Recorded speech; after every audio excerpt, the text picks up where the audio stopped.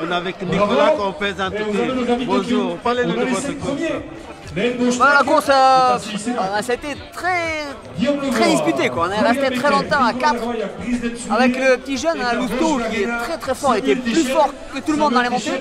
Bon, après, il faut monter, il faut descendre. Effectivement, dans les descentes, il en manque un peu. Et euh, Guillaume est très très fort dans les descentes. Donc, on était trois en bas de la deuxième descente. j'ai essayé d'attaquer un peu dans la dernière montée, mais j'ai pas pu faire la différence.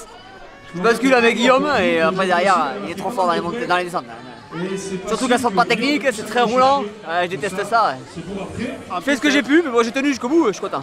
En plus, c'est un parcours que vous connaissez, vous avez gagné déjà ici le Sky Parlez-nous un peu de Sky que vous avez gagné ici. Oui, bah, c'est un très bon souvenir. Hein. J'avais fait la, la première, le feu artifice, j'avais fait une course quasiment parfaite un bon chrono, euh, j'en ai que des bons souvenirs, forcément. Est-ce que vous préparez là en ce moment un autre course ben, Malheureusement, le week-end de l'Eschqual il y a toujours Segaman. Et c'est une grosse course au Pays Basque espagnol avec un niveau international. J'ai la chance d'avoir un dossard, donc je ne peux pas refuser d'y aller et j'y vais tous les ans. D'où mon absence à l'Eschqual Trail régulièrement ces dernières années. Quoi. En plus, vous avez un course que vous organisez. Parlez-nous de cette course de Skyrun. Ah, mais la Skyrun, effectivement, elle suscite beaucoup d'engouement, elle fait beaucoup parler. Bon, ça plaît, on essaie de garder des valeurs hein, assez saines avec la fête, l'ambiance, le spectacle euh, du gros niveau. on essaie de garder les pieds sur terre pour pas qu'on se fasse déborder par l'engouement et l'ampleur de l'événement. Mais voilà, c'est beaucoup de boulot et puis euh, la passion. Hein. Les inscriptions, c'est quand alors? C'est bientôt? Ah, c'est terminé surtout.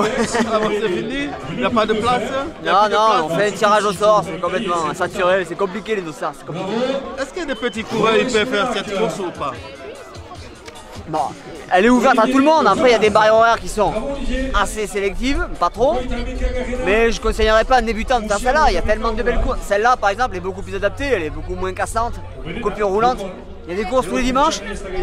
Alors les débutants, hein, je conseillerais de faire un ou deux ans de trail avant d'aller faire la Skyrun forcément. Même si c'est attirant parce que tout le monde en parle, il y a d'autres courses à faire avant. Qu'est-ce qu'on peut vous souhaiter bah, Une bonne saison, pas de blessure et continuer à courir encore pendant longtemps. Gagner plein de courses encore. courir surtout, voilà, courir et aller dans les montagnes.